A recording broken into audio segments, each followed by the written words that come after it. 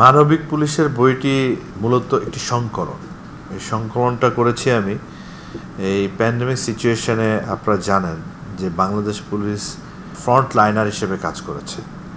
এবং front liner হিসেবে কাজ করতে গিয়ে আমাদের পুলিশের প্রায় এখনও পর্যন্ত চুয়াত্তর জনের মতো পুলিশ সদস্য এই করোনা যুদ্ধে শহীদ হয়েছে এবং হাজার হাজার পুলিশ সদস্য কিন্তু আক্রান্ত হয়েছে।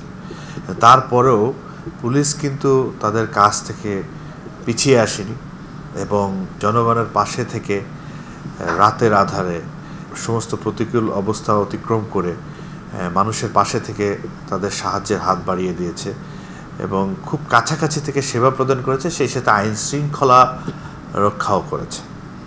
তো এই যে একটা চ্যালেঞ্জিং সিচুয়েশন এই সিচুয়েশনটা যখন বাংলাদেশ পুলিশ করেছে তখন কিন্তু এদেশের মানুষ সাধুবাদ জানিয়েছে। তা আমি এই সাধুবাদের যে জানিয়েছে, এই সাধুবাদের জায়গা থেকে আমি চিন্তা করলাম যে এইটার একটা ডকুমেন্টেশন থাকা দরকার। প্রপার ডকুমেন্টেশন থাকা দরকার। কারণ এই মহামারী আমরা ফেস করছি এখন। হয়তোবা আরও অনেক বছর পরে এরকম একটা মহামারী আসতে পারে। তো সেই মহামারীতে বাংলাদেশ পুলিশ কীভাবে কাজ করেছে হ্যাঁ এবং কীভাবে বাংলাদেশ এটাকে মোকাবেলা করেছে এই সিচুয়েশনটাকে এইটার একটা রেফারেন্স বুক হিসেবে যেন এই মানবিক পুলিশের বই প্রতিচ্ছবি বইটি কাজে লাগতে পারে। সেই জন্যে আমার এই বইটা সংকলন করা এবং এটার সবগুলো লেখাই দেশের প্রথিতযশা সাংবাদিক বুদ্ধিজীবী, কলামিস্ট, তাদের লেখা তাদের লেখাগুলো দিয়েই বইটা সাজানো। সেই সাথে আমার তথ্যের উৎস ছিল electronic media print media social media web portal সহ অন্যান্য মাধ্যম যেগুলো রয়েছে, প্রকাশের যে মাধ্যম, সেইগুলো থেকে আমি এই আমার তথ্যগুলো নিয়েছি।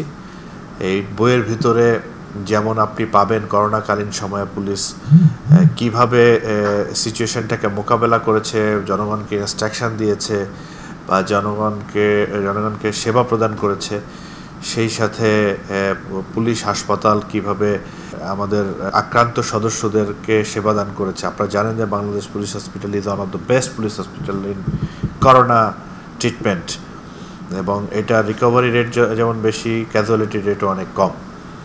সো সেই হিসেবে বাংলাদেশ পুলিশ হাসপাতালের কথাও রয়েছে এখানে এবং আরও অন্যান্য পুলিশ সদস্য কি করেছে সেটা নিয়ে বরেণ্য সাংবাদিকগণ যেভাবে চিন্তাভাবনা করেছেন, সে তাদের লেখাগুলোর মাধ্যমে যেটা প্রকাশিত হয়েছে সেই প্রকাশনা থেকে থেকে আমার এই সংকলনটা করা।